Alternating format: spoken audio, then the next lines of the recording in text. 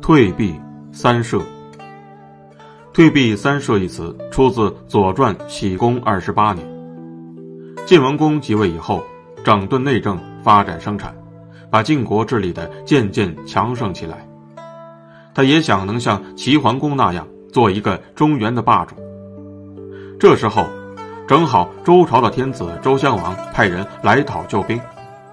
周襄王有个异母兄弟叫太叔代，联合了一些大臣向敌国借兵，夺了王位。周襄王带着几十个随从逃到郑国，他发出命令，要求各国诸侯护送他回到洛邑去。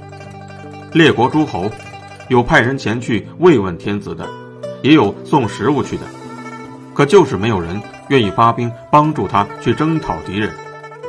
有人对周襄王说：“现在在诸侯当中，只有秦晋两国有力量打退敌人，别人恐怕不中用啊。”周襄王这才打发使者去请晋文公护送他回朝。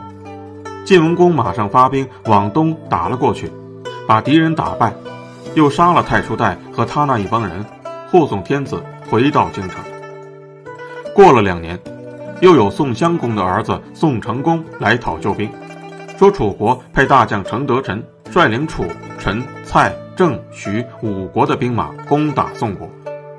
大臣们都说，楚国是欺负中原诸侯，主要是扶助有困难的国家建立霸业，这可是时候了。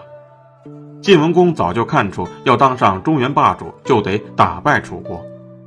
于是他便扩充队伍，建立了三支军队，浩浩荡荡地去救宋国。公元前六三二年，晋军打下了归附楚国的两个小国曹国和魏国，把两国的国君都俘虏了。楚成王本来并不想和晋文公交战，但听到晋国出兵，立刻派人下命令叫程德臣退兵。可是程德臣以为宋国迟早可以拿下来。不肯半途而废，于是他便派部将去对楚成王说：“我虽然不敢说一定能打胜仗，但也要拼一个你死我活。”楚成王很不痛快，只派了少量兵力归程德臣指挥。程德臣先派人通知晋军，他要释放魏、曹两国的国君。晋文公却暗地通知这两国国君，答应恢复他们的军位，但是。要他们先跟楚国断交。曹魏两国真的按照晋文公的意思办了。程德臣本想进这两个国家，不料他们倒先跟楚国绝了交。这样一来，气得他是两脚直跳，大声嚷嚷着说：“这分明是重耳这个老贼逼他们做的。”于是他立即下令催动全军赶到晋军驻扎的地方。楚军一进军。晋文公便立刻命令往后撤，晋军中有些将士可想不开了，说道：“我们的统帅是国君，对方带兵的却是臣子，哪里有国君让臣子的道理啊？”然而胡彦却解释说：“打仗先要评个理，理直就气壮。当初楚王曾经帮助过主公，主公在楚王面前答应过，要是两国交战。”晋国情愿退避三舍，今天后撤就是为了实现这个诺言呐。要是我们对楚国失了信，那么我们就理亏了。我们退了兵，如果他们还不善罢甘休，步步紧逼，那就是他们输了理。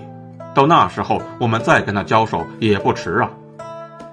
晋军一口气撤了九十里，到了城濮，这才停了下来，布置好了阵势。楚国有些将军见晋军后撤，就想停止进攻，可是程德臣却不答应，一步盯一步地追到了城濮，跟晋军遥遥相对。程德臣还派人向晋文公下了战书，措辞十分傲慢。晋文公也派人回答说：“贵国的恩惠，我们从来都不敢忘记，所以退让到这里。现在既然你们不肯谅解，那么只好在战场上比个高低了。”大战终于展开了，才一交手，晋国的将军用两面大旗指挥军队向后败退，他们还在战车的后面拖着拔下的树枝。战车后退时，地下扬起了一阵阵的尘土，显出了极为慌乱的模样。程德臣一向骄傲自大，不把晋人放在眼里，他不顾前后的直追上去，正中了晋军的埋伏。晋军当中的精锐部队猛冲过来，把程德臣的军队拦腰切断。原来假装败退的晋国军队又回过头来，前后夹击，把楚军杀得七零八落。晋文公连忙下令，吩咐将士们只要把楚军赶跑就是了，不要再追杀。程德臣带了败兵残将回到半路上，自己觉得没法向楚成王交代，便自杀了。晋军占领了楚国的营地，把楚军遗弃的粮食吃了三天，这才凯旋回国。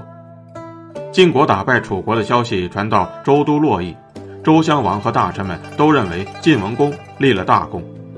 周襄王还亲自到建土慰劳晋军。晋文公趁此机会在建土给天子造了一座新宫，还约了各国诸侯开个大会订立盟约。就这样，晋文公就当上了中原的霸主。而这场战役便是春秋历史上极为著名的城濮之战。这便是退避三舍的故事。